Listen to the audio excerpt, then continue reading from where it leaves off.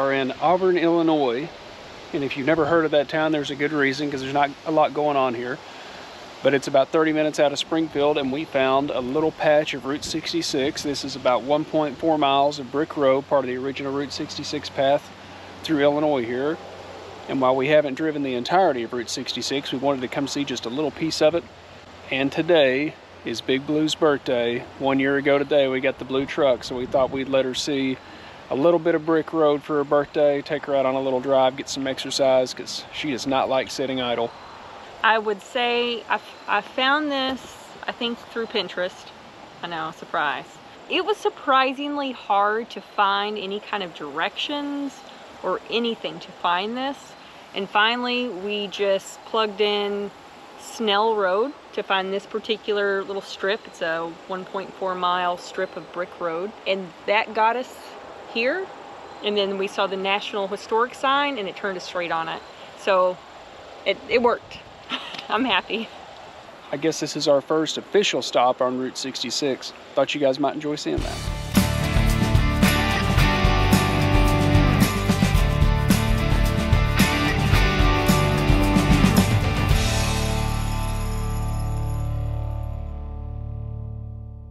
That was cool, but I'm sure glad we don't have to drive on brick paved roads anymore. that was rough. So since we're down here in Springfield, Illinois anyway, I had to go to one of my favorite Mexican food places, and if you followed us for a little bit, you know I like Mexican food.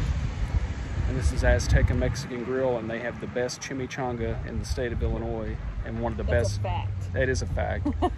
and the best chimichanga of one I've found almost anywhere. So I'm gonna dip do in here. They do. They really do. I'm gonna dip in here and grab me a chimichanga, and then we're gonna continue on our adventure for the day.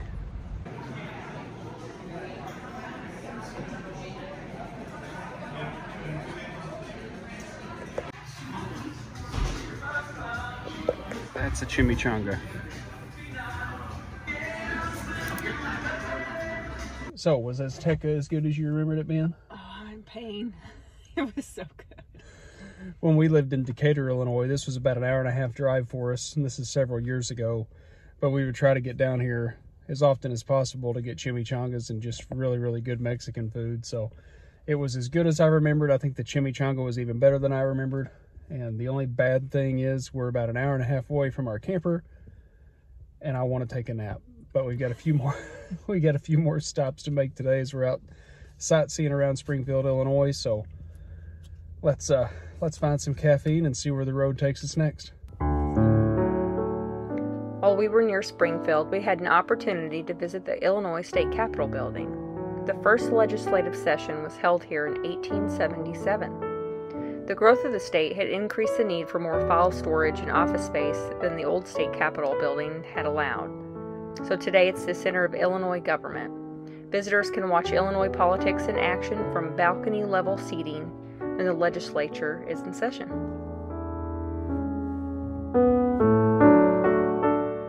The current building is the sixth to serve as the Capitol building since Illinois was admitted to the U.S. in 1818. Its footprint is cross shaped with four equal wings. The building is topped with a 405 foot dome. The interior of the dome features a plaster frieze painted to resemble bronze, which illustrates scenes from the Illinois history, and stained glass windows, including a stained glass replica of the state seal in the oculus of the dome. With a total height of 361 feet, the Illinois Capitol is the tallest non skyscraper capitol, even exceeding the height of the U.S. Capitol in Washington, D.C.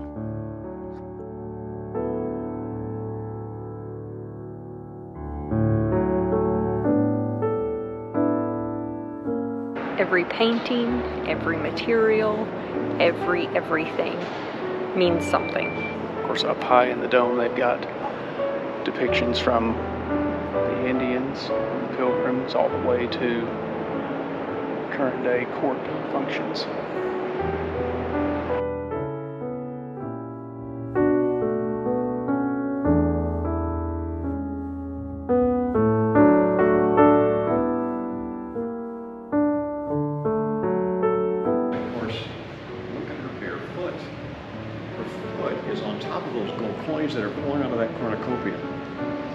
Trampling on them, showing no respect for the gold, the coins, or their value.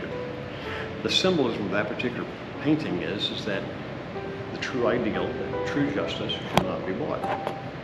And we still have the word justice in 24 karat gold on our walls.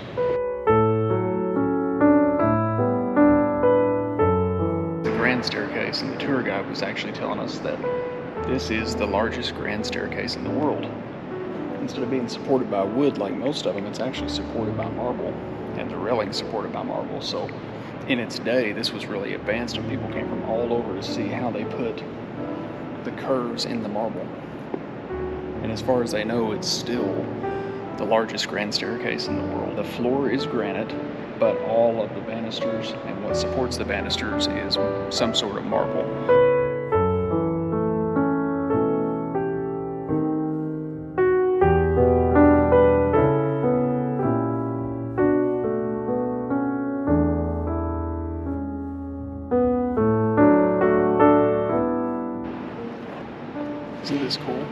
Is all free. They do tours all day long.